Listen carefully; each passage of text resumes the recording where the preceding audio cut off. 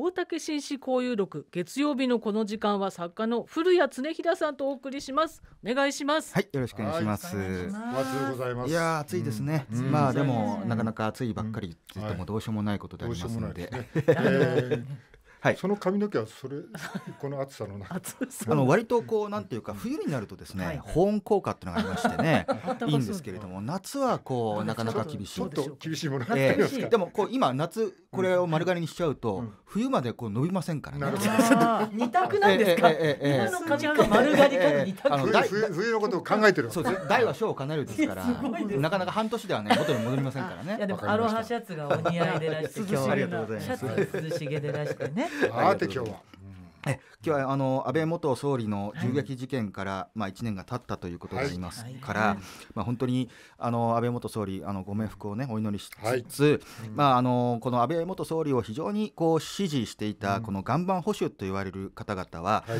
あその安倍総理とこう銃撃事件の後に、うん。えー出てきたその旧統一教会との関係性について、うん。まあ1年を機にあのどう思ってるんだろうなとはい。いうことをちょっとまあ振り返っていこうと思うわけなんであります。うんいやもちろんこれは本当に痛ましい事件で、うん。あの素晴らしい政治家があの亡くなってしまったという意見もああれば、あの功罪半ばだったという意見もあります。はい。ですからまあ私はまあ政治家としての安倍さん云々についてはここでは論評いたしませんけれども、うん。やっぱりこの銃撃事件が起こまあや割とすぐに、うん。やっぱりその、まあ、山上被告の、うん。まあ、供述、まあ、これはすべてではありませんけれども、うん。えーまあ、安倍さんと統一教会の関係性を恨みに思っていたとうん。いうようなことで、このにわかに、えー取り沙汰されましたよね。はい。はいえーですからこれは今も続いているわけであります。でまあ最近のニュースでありますけれども今の、えー統一教会旧統一教会の、えーまあ、総裁であります。これは菅鶴子、まあ、はい。韓白茶総裁でありますけれども、これが、えー実は6月の末ですから、まあ、先月ですねにあの幹部に対して、えー実はこういろんなこう説説法というか、うんそういうことがやったという音声テープがこう流出ししまして、あそれがニュースになっていました。でここはまあ要約しますとね、えー、か菅氏はどう言っていたかというと、えー日本は第二次大戦の戦犯国であり、えー罪を犯した国である、えー日本はあー賠償するべきだと。でまあ、こういうことを、まあ、おっしゃった、はい。でこれについてあのその、えー安倍総理をすごく支持していらっしゃった岩盤保守の方は、えーどういうような反応をしたのかなというのがまず最初、はい。でもうもちろんですね例えばその岩盤保守非常に保守の中でもすごくこう、まあ、濃いといいましょうか、まあ、それ自体いいんですけれども、そういう方はあのこの菅えー鶴子氏の発言今の発言について、一番これは彼らの金銭に触れることなんですよ。まずこれはあのいわゆる岩盤保守の主張ですけれども、はい。そもそも日本は第二次大戦の戦犯国じゃないっていうふうに、えー岩盤保守の方はずっと言って、はい。それこそもう戦後、おまあ、とりわけ21世紀に入ってからずっとそもそも、あの日本は罪なんか犯してないんだ、つまり、えー大東亜戦争というのは正義の戦いであって、えーそれこそ韓国にそんなことは言われる必要はない、むしろ日本はいいことをしたんだから、何言ってんの？というこれが一番これはねあの怒るんです彼らはこういうことを言うと、はい。はいと特に戦犯なんて言葉強いでしょ、うん。だから何を言ってんだと、はい。むしろ戦犯は日本日本じゃないんだということを言うんですけれどもこれ多分こういうことを言ったら多分すごい怒るだろうなと思って。しかもこれがあの、まあ、どういう意図か分かりませんけれども安倍元総理とこうつながりが、まあ、あったと言われてるわけですからこれどうなのかなっていうふうに思ったところこの1週をおこう前後してあのいろんなこの保守系のお雑誌というのが、はい。まあ、増刊号を出したりですね、はい。大特集をしたりしておりまして、まあ、私はあえてですね名前言いませんけれども、はい。まあ、ウィルとか花野とかなんですけれども、言ってますね。えー いやいや 言ってます。あそういうのを全部買ってね僕は読んだんです。はい。どう思ってんのかなと、はい。まあ、こういうあの旧統一教会のこの総裁については、まあ、今回これが出てきたけれども前から同じことが言ってるんじゃないかと、はい。そういう教義だということは言ってらっしゃったんでどうかなと思ったらまあ全部おしなべて読んだんです僕も。はい。3000円ぐらいかかりましたけどね。ええそれその結果、えー一言も誰一人として言及をしておりません。ああそうつまり無視イグノアでありまして、うんまあ、鈴木貫太郎風に言うと黙殺であります。うんつまりあの統一教旧統一教会と安倍さんの関係というものを、まあ、触れてもよかろうと思うんですけれども、うんまあ、それはいい見方も悪い見方もね、はいえただし現実的には、えー一切えー無視状態であります。そうですか。あのでその中でもね、あ僕は前から知ってて、えー保守系の言論人の方でもすごくこう、なんていうかバランス取れてるなっていう風な方がいて、その人も寄稿してたんですよ、はい。この人は言及してくれるのかなと思ったんですよ、うん。はい。で読んだんですけど、M さんって言うんですけど、読んだら、あの一応功罪あったっていう風に書いてるんですよ、うん。なるほど、うん。なるほど来たと思って、はい。でその罪の部分は何なんだろうって言ったら、うん。うん。北方領土問題が解決できなかったこと。あれ？いやそれは解決はね、うんうんまあ、そこなのかなとまあまあまあ思いままあそれはそれでね、まあ。いいんですけれども、まあ解決はしてませんけどね、ええ。そこはね。まあ、他の、ね、総理も解決できなかったので、うん。まあ、それはともかく、うん。まあ、そういったことでですね、まあ、今あのこのおいわゆる岩盤保守という方は、うん。まあ、この、えーまあ、韓国のこの菅鶴子氏、反 総裁ですけれども、はい。こういう人たちが実は彼らがすごく大事にしている歴史観とか、うん。えー日本は戦犯国じゃないんだと、むしろ正義の戦いをしたんだっていう、そこをものすごく踏みにじられていていると思うんですけれども、はい。私は。う。ん。すごくこれ他の方だったら、中国の主席とかこういうこと言ったら、うん。とんでもないことになると思うんですよ、ええネットがもう毎日大炎上、はい一切ない。うんということでありましてですね。でそれでまああの、まあ、当然、えー繰り返しますけれども、はい。この非常に残念な事件でありましたけれども、うん。そのおこういったその安倍元総理との、うん。と旧統一教会の,、おうん。その関係性というのが、うん。まあ、すぐに明るみになって、うん。連日今でもやってるということに、最初からずっと彼らは無視していたのかなっていうふうに思って、うん。まあ、ちょっと2番目はね、うん。あのーこう時系列として話したいと思うんですけれども、うん。で7月に安倍元総理がお亡くなりになって私も大変ショックを受けました、うん。その後えー9月の末に国葬儀を後半にね、うん国葬儀をいたしましてですよね、はい。うんでそのまあ大体2か月から3か月ぐらいはですねさすがにこの報道がうん。あの旧統一教会の関係があったんじゃないか、うん。これはあったからといってね銃撃や正当化一切できませんよ、だけれどもそれとこれとはまあ別だろうということで、はい。い、ろんな調査報道がなされた、はいそのことについてそのえーその安倍さんをあ元あ総理を支持していた方はうん。さすがにこ当時は黙ってなかったんです。うんその時に出てきた論法というのがですね、まあ、一つはあの確かに安倍元総理は旧統一教会との関係はあった。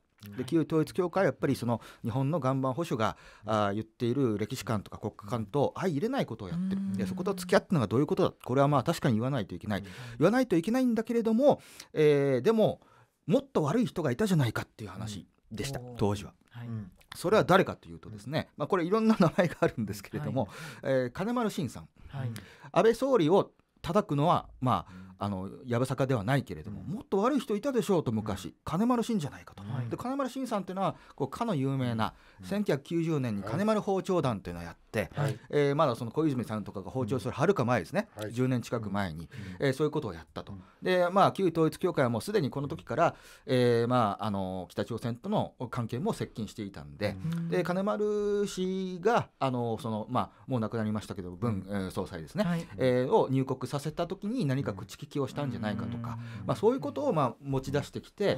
安倍さんを叩くのはまあ100歩譲って、まあ、しょうがないとしてももっと悪いやついるでしょ。うと、うん。金丸が悪いんじゃないかと。うん。まあ、この金丸悪玉論って私勝手に読ん。でるんですけれども、まあ、こういう論法が一つ出てきました、はい。まあ、プラスあと中曽根さんも悪いとかね、まあ、そういうその相対化する論調が多く出ましたね。うんさすがにこの時は。う。ん。でもう一つはこれは非常に当時出たのはね、はい。あの安倍元総理は確かに旧統一教会との関わりあった、はい。それは確かにあんまりあの歓迎するべきことじゃないと、うん。岩盤保守としては当然だと、うんところが実は安倍元総理は旧統一教会との関係を切ろうと努力されていたんだ。うんこういう論法が出てきたんですね。うん。これはもうだから銃撃事件から国葬儀の間ぐらい。うん。これはどういう論法かって言ってですね、これ実はあの2013年にこれはまあ第二次安倍政権が始まってすぐですね、これはあの消費者裁判手続き特例法というのを成立させました。はいでさらに2018年だったと思いますけれども、この、えー第二次安倍政権下では消費者契約法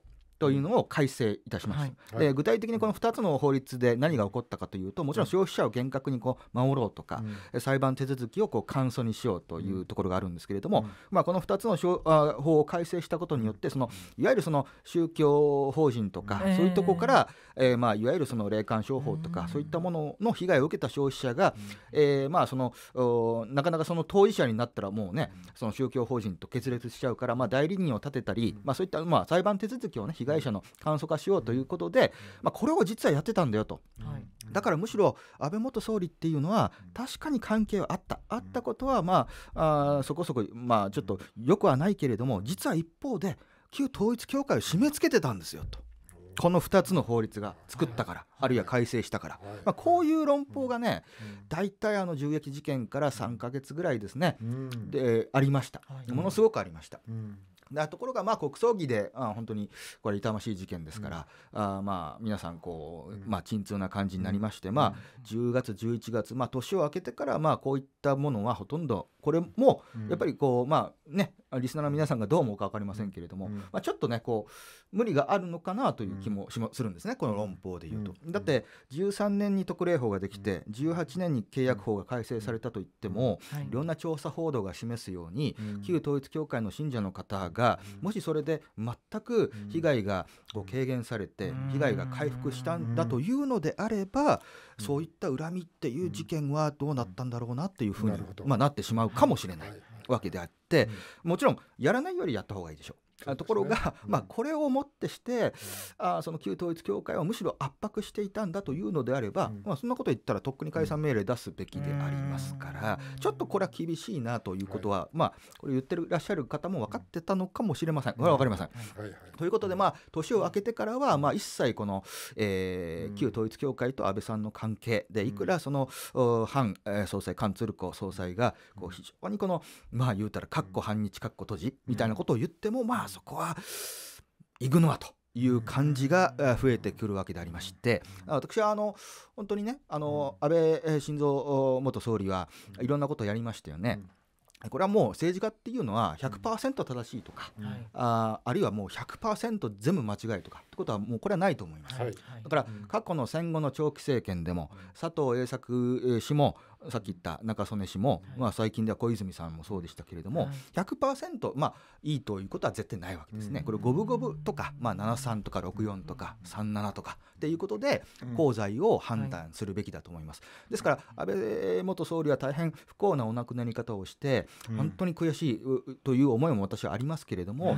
ただしあのもちろん功がある一方で財があるわけですね、こういったところを、うん。あのやはり4割5割あるいは3割ぐらいでも結構ですから、まあ、割はいいとしても、そういうところを正確に言わなければ、うん。これはあの政治評論としてははい。全く成り立たないと思うんですね。ところが、あのその最近の一周囲の、おまあはい。このタイミングで出た、うん。その安倍さんの政治家としての評価みたいなことをバーッとやる雑誌はい。とか増刊号とかムックとかね、うん。そういうさっき言った名前、うん。まあ、あえてもう一回名前出しませんけれども、うん。まあ、ウィルとか花田なんですけれども、いやいや、そういうところは、まあ、政治評論というふうに言ってるんですよ、はい政治家、安倍晋三の評価、評価になってないんじゃないでしょうか。うん。私は安倍さ晋三がうん。さんがダメだとかって言ってるわけじゃなくて、うん。政治家というのは功罪、清濁、愛合わせ持つものであって、仮にも世に政治評論だ、言論誌だって言ってるんであれば、うん。財のところもそれがイコール人格否定なんなんじゃないんですからね。それを言わなければうん。これは口論としてはおかしいんじゃないかななんてこれは私1年経って思うんですけれどもはいいかがでしょうかね。はい。